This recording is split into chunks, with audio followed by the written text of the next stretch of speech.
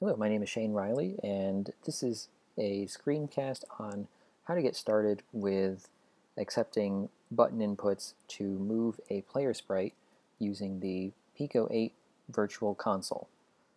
The Pico 8 Virtual Console is a fantasy game console that has a 128 by 128 pixel square 16 color display. The programming code that's used is a subset of Lua, and the application itself has a built-in editor for code, sprites, sound effects, and audio. You can obtain Pico 8 by purchasing the Voxatron video game.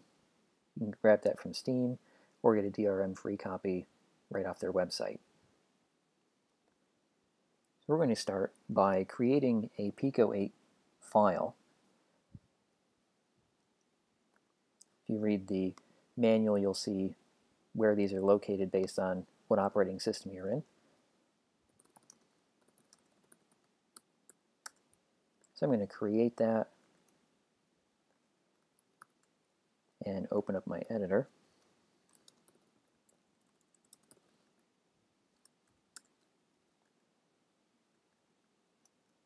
And I'll run Pico 8.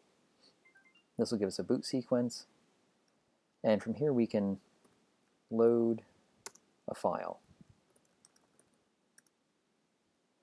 Now this says could not load, that's because we don't have the appropriate headers to the file. So if you want to start from a blank file, we need to add the headers to it.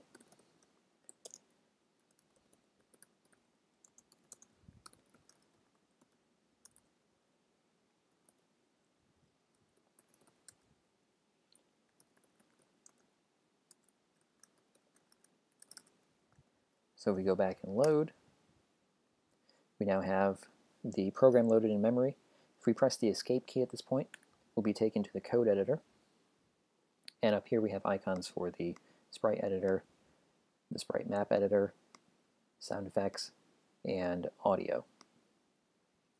We're going to start by drawing a sprite for our little character.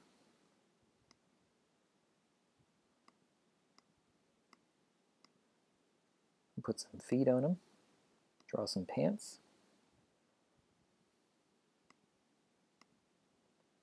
give him a shirt,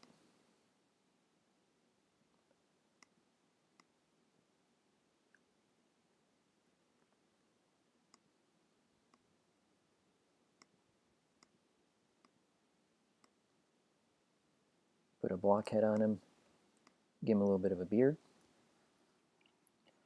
And now down here, you'll have a completed 8x8 sprite. You can copy and paste this by hitting either Command C or Control C and paste it with Command V or Control V.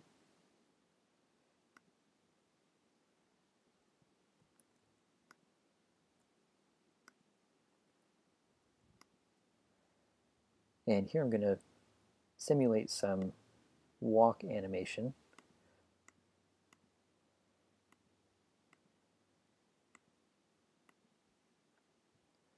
So there's the three sprites we're going to be using.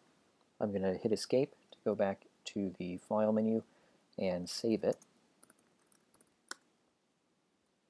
I'll go back to my code editor and we'll see that we have all of our sprite data after the GFX flag. Our code is going to exist right below this Lua flag. And we have two functions that we can define that are picked up by Pico 8 and called once every 30 seconds. We have an update function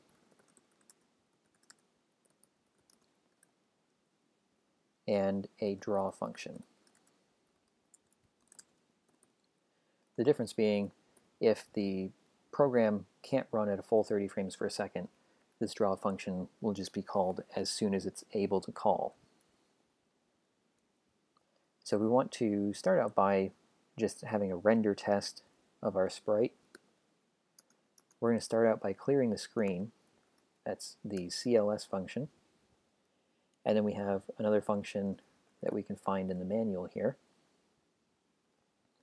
we go down into the API.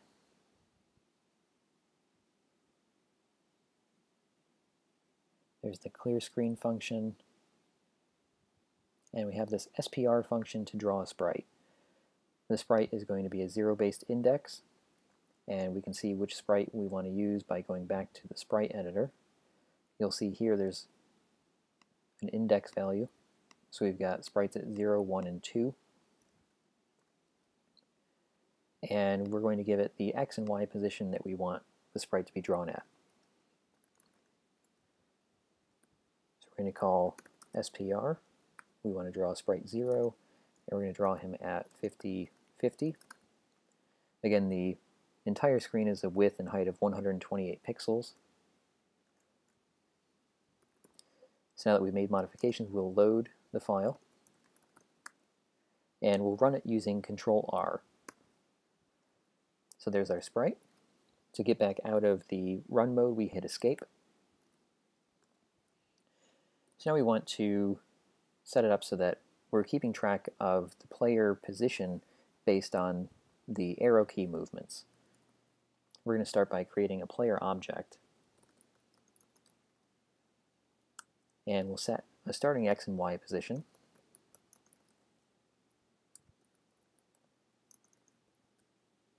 We'll move them in a little ways from the top edge. The sprite we're going to be using to render him is 0, and I'm going to set a speed property to control how fast we're going to move the sprite based on the x and y position. So in our update function, we're going to check and see whether or not a directional key is pressed. Back up at the top of this documentation, you'll see a Hello World demo. This is calling the btn function and passing in a numeric value for the buttons that are available. We have buttons from 0 through 5, and those are left arrow, right arrow, up arrow, down arrow, Z, and X in that order. So with button 0, we're checking to see if left is pressed. If left is pressed, we're decrementing the X value, and so on for the other three buttons. We're going to do a similar if statement here.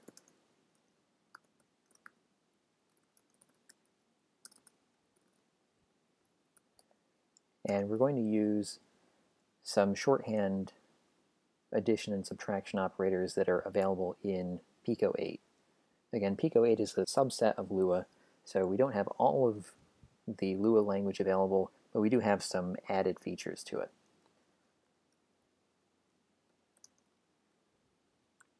We want to adjust that by the player's speed.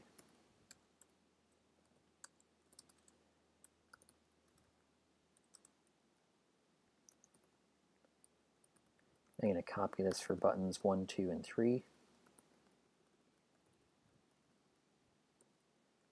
So if button 1, player X increases,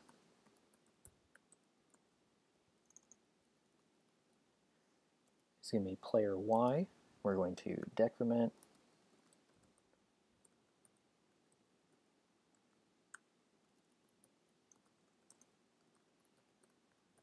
and we'll increment if we're pushing down. So now we can change this to draw our current player sprite, our current X position, and our current Y position. We'll go back and reload and run that. And now we've got it moving across the screen. We still have to add in the ability to animate between the sprites while it's moving. So we're going to stop that. And we're going to make a move function.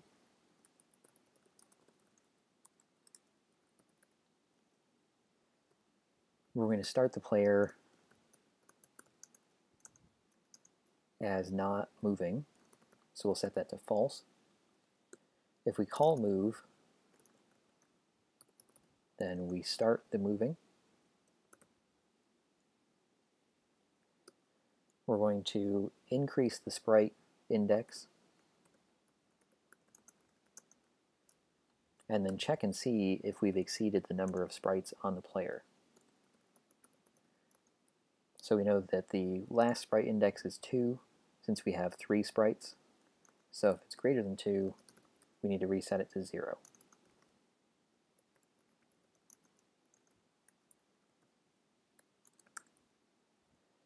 And now to call this, we just add the function call to each of these. We'll reload, rerun, and now he got him moving around. But if you'll notice, he stops sometimes in an animation where he's got one leg lifted up. We want to reset him so that he's standing when the movement stops. So we'll start this update loop by setting his moving flag to false. And down here we check and see if it's not moving.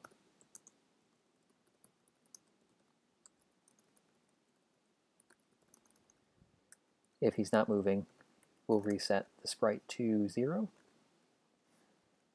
We'll come back here, reload the demo, rerun it with Control R, and now when he stops, the sprite sets back to the first sprite.